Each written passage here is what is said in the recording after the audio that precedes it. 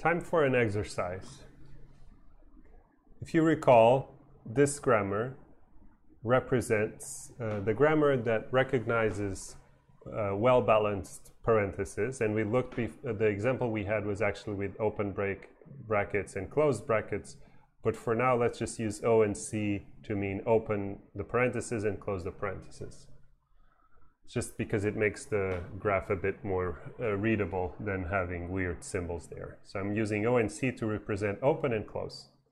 Uh, and this is as before, as we had before in the, um, the grammar that we saw in the previous lecture. So now I would just ask you to uh, try to write, give this PDA yourself, try to do it, think a bit. Uh, and then I'm going to give you my solution. So please pause now. Okay, I hope you paused. So let's see. The one I did was this one. You can do a different one. So let's see how it works. I start by initializing my stack with the dollar sign, and then whenever I um, open, I push an O. Whenever I can only close if there's an O on top. So that means I can do this behavior where I open and then I do something else, which is possibly opens and close, and then finally I close. Um, I can also do open and then close, which resets my set. So this situation where uh, this pattern where I do C followed by C, which means I would open and close a number of times, and then eventually my stack would be empty.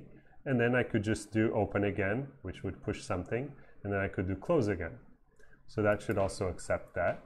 Uh, does it accept the empty string? Let's see.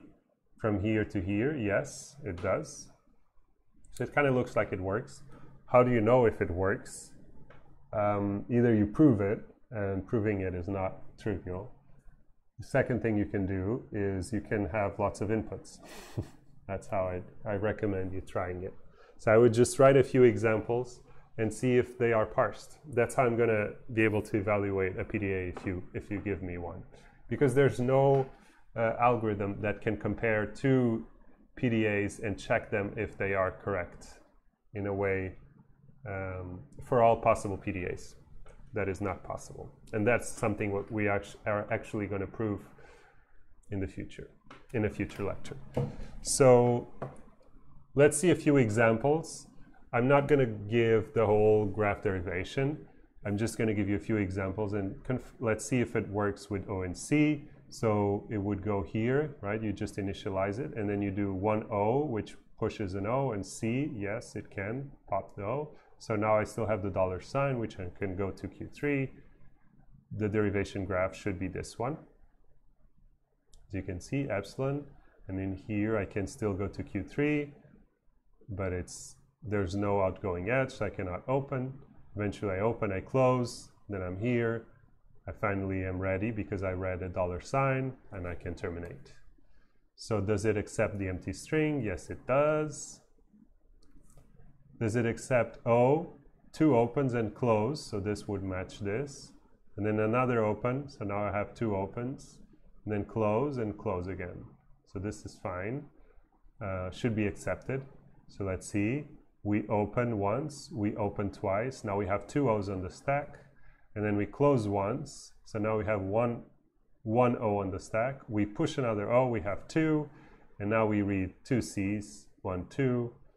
Um, so finally the stack is empty and we can go there. So that's basically what happens. You can see the O's. Uh, you read one O, you read the second, uh, and then you close the first, then you open again, and then you close, close, and finally stack is done.